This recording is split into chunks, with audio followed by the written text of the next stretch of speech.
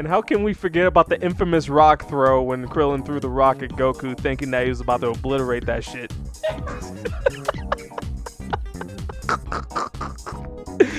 Yo, sometimes I'm afraid of Goku. Like, there were times where, okay, the time where he turned Super Saiyan for the first time, like when he was yelling at Gohan to get the hell up out of here, I was like, yo, I, I, I want a piece of you, man.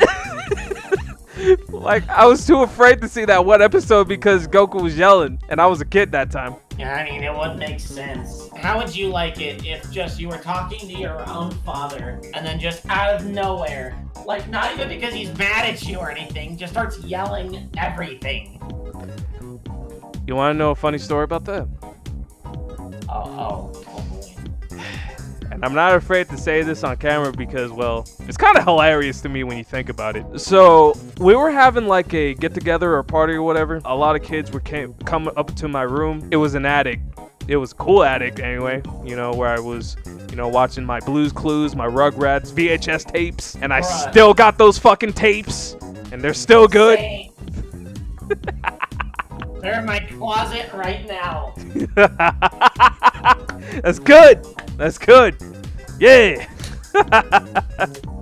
but um, but um, okay. So we were having, you know, a get together. Uh, kids were coming in my room. My father had a stash, a collection of Hot Wheels.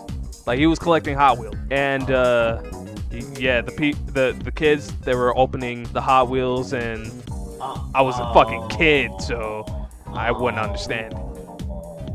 The thing about this is, he hit him in my room, which he could have just hit him in his freaking. Uh, Closet or something. well, here's here's the thing. I have to go to my parents' room to get to my room. Yeah, it was literally the attic, technically. Well, it had its own stairs, but I, I usually call the attic. But you know, I would have to walk in my parents' room to get to my room. I kind of have a feeling about this already ends. Mm. Yeah, so the next day or days later, I don't know when he fucking came up to see his collection being opened and shit. But I woke up probably like a few hours later because I was just hanging out in my room just doing things. I was seeing my father and my girl Mandy Rose is on TV.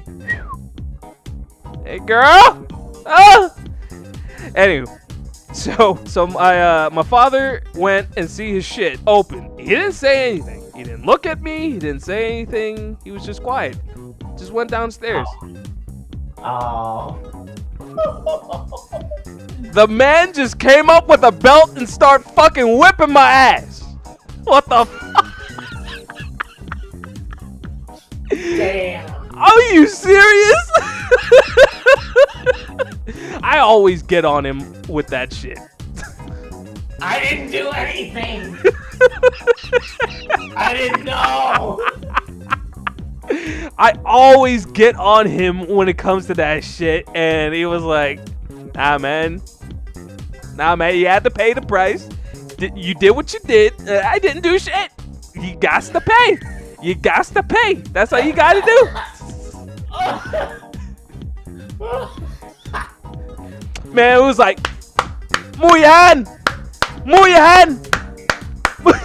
it's like, what the fuck? I love my dad, but Jesus Christ, man. That was one of the most retarded. That was the most retarded moment that I've ever had in my entire life. That has got to be the most funniest shit that I've ever had to do in my entire life. Mm. Yeah. If something, if something like that happened to me, my parents would just be like, uh, I don't know. It's fucking crazy, man. It's fucking dumb. Stupid. Yeah, if I did something like, if I did something like that, I would either be pinned to the ground or thrown through a window. Okay, pinned to the ground. That's uh, kind of suspect, but you know. Uh, I mean, I haven't done anything. I mean, nothing's that stupid has happened to me yet, so I'm just speculating. Mm. Jesus, man.